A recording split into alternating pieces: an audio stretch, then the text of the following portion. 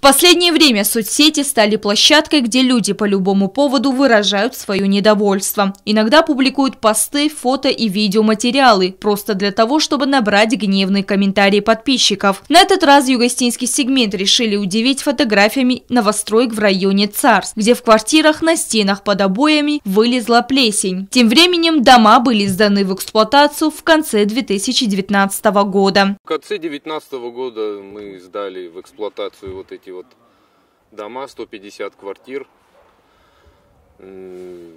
Работы производились в летнее время, так что там все было уже сухо, все было четко, нормально. Мы сдали квартиры, к нам никаких претензий от правительства, ни от кого, от ЖЭКа не поступало. Мы все ключи отдали в ЖЭК, и они уже распределяли э, квартиры по местному населению.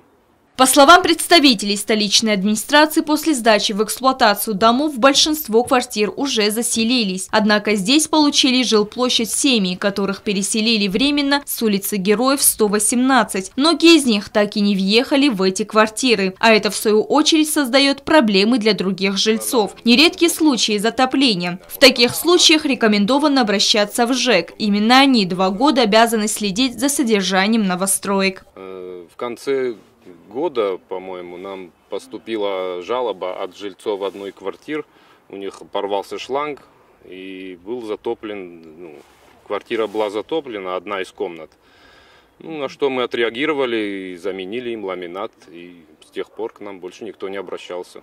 Однако других каких-либо жалоб от жильцов к застройщикам не поступало. Но ко мне никто не обращался, и обсуждать что-то того, чего я не знаю, я не могу. Я прежде должен пойти и посмотреть, э, что там случилось, в чем дела, наша вина, не наша вина. Если это наша вина, то мы, конечно же, устраним.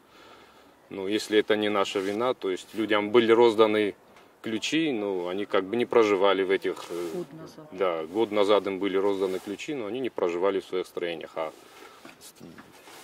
квартиру надо проветривать, квартиру надо отапливать, иначе что тогда будет происходить.